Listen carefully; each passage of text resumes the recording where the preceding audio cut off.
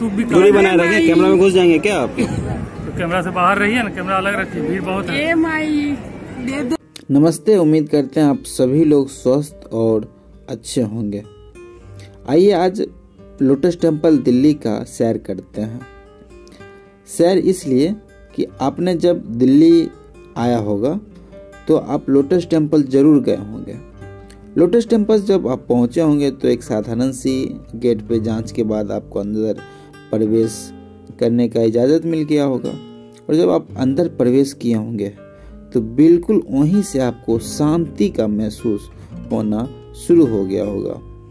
यहाँ पे आपको जूते चप्पल उतार लिए जाते हैं ताकि अंदर का फर्श गंदा ना हो। और जब आप यहाँ पे अपना जूता जमा कर देते हैं, उसके बाद जब आप पैदल चलते हैं तो बिल्कुल आपको सुकून महसूस होगा। आपको ऐसा लगेगा कि आप ज़रूर जन्नत पहुँच गया है। यदि आप बहुत ही टेंशन में हैं, डिप्रेशन में हैं, या फिर आप किसी परेशानी को झेल नहीं पा रहे हैं तो मेरा एक सजेशन है कि आप दिल्ली के लोटस टेंपल पहुँचें और टेम्पल्स के अंदर पहुँच के आप बिल्कुल मतलब दो मिनट के लिए ईश्वर को याद करें, प्रार्थना करें, और मुझे उम्मीद है कि वो आपका दर्द वो आपकी परेशानी सॉल्व हो जाएगी और आपके मन को बिल्कुल शांति महसूस होगा। ऐसा इसलिए क्योंकि इसके चारों ओर, लोटस टेंपल के चारों ओर से पानी से घिरा हुआ है, यानी नौ तालाबों से इन्हें घेरा गया है, ताकि इसके अंदर का एरिया शांत और शीतल हो। जब ऐसा एरिया होगा, ऐसा जगह होगा तो आपके मन को एक सकारात्मक जो है सो ऊर्जा मिलेगा, ऊर्जा दिया जाएगा। और उस ऊर्जा की वजह से आपका सारा परेशानी दूर हो जाएगा। तो चलिए हम आपको आगे ले चलते हैं कि आगे कैसे कैसे हम लोग प्रवेश करेंगे। शुरुआती तो आपको मैंने दिखा दिया कि आप रास्ते से जब एंट्री लेंगे तो उसके बाद दोनों तरफ़ अच्छे से गुलदस्ते की तरफ़ फूल लगे हैं और जब आप आगे बढ़ेंगे तो आपको जूता चप्पल के लिए जो है सो वहाँ पे झोला दिया जाएगा और आप उतार के रख देंगे और टोकन दिया जाएगा। टोकन आप अपने पास रखेंगे और टोकन जब आप वापस जाएँगे घूम के, यानी आप अपने दर्द दुख के यहाँ भुला के जाएँगे तो आप अपना टोकन दे के और जूता चप्पल ले लेंगे और पहन के निकल जाएँगे। तो चलिए अंदर प्रवेश करते हैं। वैसे भी आगे साफ़ सफ़ाई चल रहा है। फिर भी आगे बढ़ते हैं। आगे बढ़ने के बाद मैं आपको बताऊँगा कि आगे क्या सब चल रहा है।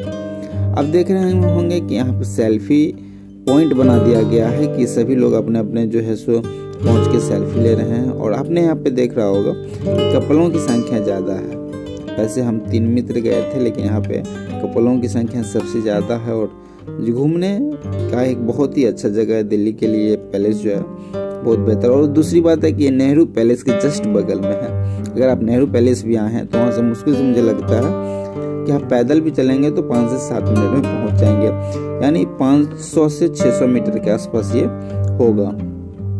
तो खैर, आप जहाँ के भी हों, आप यदि दिल्ली गए हैं तो अक्षरधाम, लोटस टेंपल और जस्ट लोटस टेंपल के बगल में काली माँ का मंदिर है, वहाँ भी जाएँ और दर्शन करें।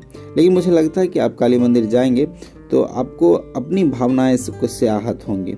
वहाँ इसलिए होगा कि जो आप यहाँ शांति जो सो महसूस रहे हैं, वो वहाँ पे आपको नहीं मिल पाएगा। मैंने खुद गया और मुझे अंदर से गजब फील हुआ जबकि मैं बहुत ही श्रद्धा रखता हूँ माता रानी से। और फिर भी वहाँ की जो मैंने देखा, वहाँ के जो पंडा जिसे आप बोलते हैं, वहाँ के जो व्यवस्था को मैंने देखा तो मुझे बहुत ही दुख हुआ। तो खैर, कोई बात नहीं है। सभी जबकि अगर देखा जाए तो यहाँ की सुविधाएँ और वहाँ की सुविधाएँ में बहुत सारी अंतरें हैं और वहाँ और यहाँ में खास वजह यह है कि वहाँ की जो लोगों जो पहुँच रहे हैं मुझसे से एक से दो लोग होंगे जो इससे निकल के वहाँ जाते होंगे, वरना यहाँ निकलने के बाद, यानी लोटस टेंपल के निकलने के बाद, डायरेक्ट अपने दूसरे मंजिल की ओर चले जाते हैं। लेकिन मैंने घूमने के ही व्यू से गया था तो मैंने देखा माता रानी को प्रसाद भी चढ़ाया।